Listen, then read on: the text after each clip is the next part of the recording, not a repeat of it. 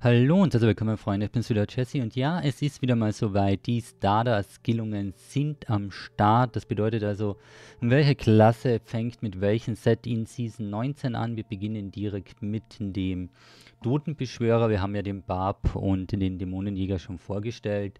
Beim Totenbeschwörer wird sich in Season 19 nichts ändern. Ich falle da direkt mit der Tür ins Haus oder wie da der Spruch geht. Also keine neuen Sets, keine neuen Items. Der kommt erst zu einer späteren Season dran und das Starter-Set heißt hier bei Ratma. Das bedeutet also, wir bauen uns einen Ratma ähm, Necro mit den Skelettmagiern, welche natürlich über das Set geboostet werden und welche dann für uns alles töten sollen.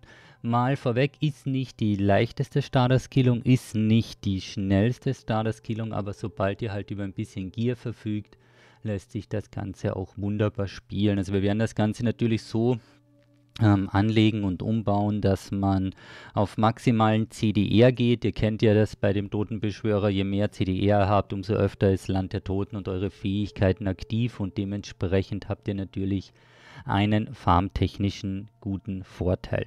Die Paragon-Punkte sind wieder komplett raus. Wäre auch ein bisschen krass, das Starter-Set mit den 4000 plus Paragon zu starten. Also Paragon-Punkte sind raus. Wir haben auch die Sockel rausgenommen, aber das möchte ich nicht unterschlagen.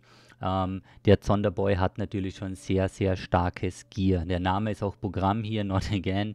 Ähm, das Gear ist sehr stark, aber es ist ja auch nur, um die Skillung vorzustellen und zu zeigen, es funktioniert natürlich auch mit weniger. Das Gear gehen wir im Detail gleich nochmal durch. Also nur zur Erinnerung, weil das war auch eine gute Anmerkung aus der Community, die Starter-Skillungen komplett ohne Paragon zu spielen und auch ansonsten noch zusätzlich weiter abzuschwächen, wenn man gutes Gear hat. Also wir nehmen dann eben Edelsteine noch zusätzlich raus und und und, damit man eben ziemlich genau das hinsimuliert, wie es dann zum Start ist. Ganz genau geht es eh nicht, weil wir haben zum Beispiel hier von Season 19 das Season-Thema nicht dabei. Das Season-Thema wird euch natürlich beim Totenbeschwörer auch super gut unterstützen, weil da gibt es ja teilweise das Problem, wir haben jetzt unsere Skelettmagier alle aktiv, aber es fehlen gerade 2-3%, dass das Ganze refreshed wird oder es sterben gerade mal ein paar oder wir gehen in den Proc, also erhalten einen guten Hit Brocken, die Skelettmagier verschwinden. Wir müssen das Ganze neu aufbauen und da unterstützt uns dann natürlich das Season 19 Thema, weil das nochmal zusätzlichen Schaden mitbringt und damit natürlich das besonders am Anfang, wenn noch Gear gefarmt werden muss und so weiter, das Ganze gut unterstützt. Vom Speed her, ihr seht schon, das läuft natürlich super. Rein farmtechnisch könnte man, hatte man auch die Möglichkeit, damit halt loszufarmen. Es ist auch kein Geheimnis, dass die Lon-Ratmas wieder zum XP-Farmen verwendet werden. Also für die, die die Season effektiv nutzen möchten und auch ein hohes Paragon in der Season holen möchten, die sind sowieso mehr oder weniger ähm, gezwungen, hier den Totenbeschwörer dann in der Lon- und Ratma-Variante zu spielen. Also jetzt spielen wir es ja mit dem Starter-Set, aber ihr farmt halt schon die Items dann für später um dann hier diese guten Radmer-Runs zu fahren.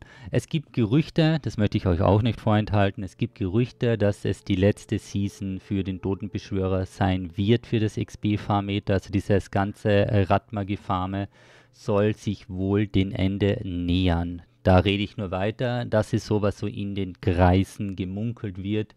Wir lassen uns da einfach mal überraschen und warten es ab. Nur als Information hier zum Starten und anschließend dann für die Meta-Farm-Kombo ist das auf jeden Fall eine Möglichkeit. Ansonsten, wenn man jetzt mal zurück auf das Starter-Set geht, gibt es was Bestimmtes zu beachten? Ja, gibt es. Ihr habt sehr wenig Zähigkeit, besonders am Anfang mit dem Low-Gear und dem Paragon. Lasst euch nicht treffen. Also positioniert euch immer ein bisschen so nach hinten, immer etwas außerhalb der Reichweite der Gegner. Ansonsten ist nämlich ziemlich schnell Ende Gelände. Das ist der kleine Tipp.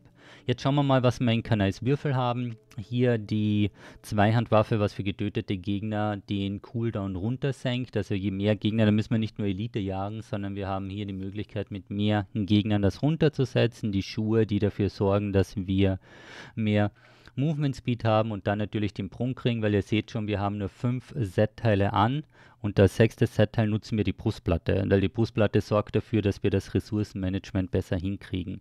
Also jetzt kommt natürlich gleich mal der Aufschrei, weil jetzt heißt es Moment mal, hat der im Starter-Set eine Primal-Waffe, ist denn der komplett bescheuert? Haben wir. Wir können natürlich wir machen ja immer wieder mit jeder Season aktualisieren und updaten wir die Guides, damit die halt immer up to date sind und teilweise, weil wir halt dann viel spielen, kommen, kommt auch gutes Gear zusammen. Ihr seht das auch von den aufgewerteten Sachen her. Das war auch das, was ich eingehend gemeint habe.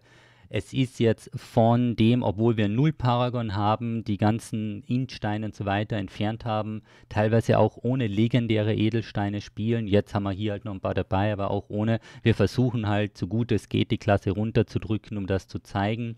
Wenn ihr das jetzt selbst live spielt, ihr werdet es sehen, wenn ihr die richtigen, also die gleichen Talente jetzt nicht in uralt und nicht aufgewertet, aber mit den gleichen Talenten funktioniert das genauso zum Farmen. Der Hinweis, dass der Totenbeschwörer unter für die ersten 800 Paragon ein bisschen nervig ist, den gebe ich jede Season. Es fehlt einfach mir ein CDR.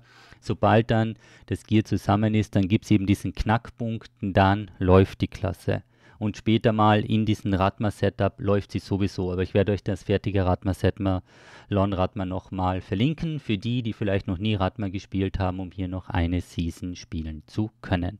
Ja, Freunde, das war's. Wie immer, wenn es Fragen gibt, ab damit in die Kommentare und ansonsten viel Glück, viel Spaß und bis zum nächsten Mal.